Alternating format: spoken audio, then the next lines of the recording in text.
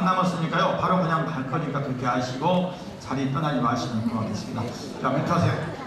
네, 오늘도 종가대행진 다채로운 음악과 수많은 가수들과 함께 했는데요. 여러분 즐거우셨나요? 네. 저희도 함께 참 즐거웠습니다. 네, 저희는 끝으로 아, 원조 개그맨 가수죠. 옛날에 부채도서 하셨나요?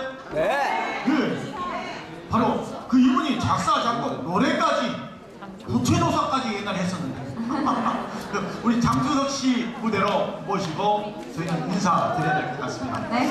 지금까지 함께해 주신 여러분 대단히 감사합니다. 한 주 동안 즐겁게 행복하게 보내시기 바랍니다. 저희는 또 다음 주에 찾아뵙도록 하겠습니다. 여러분 안녕히 계세요.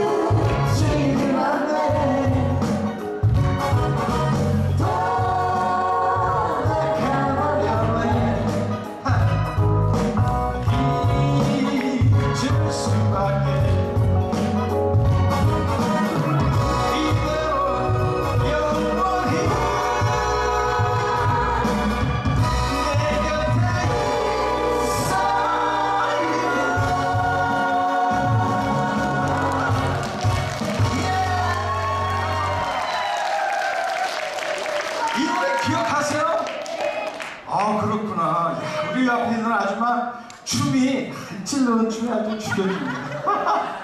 저희 일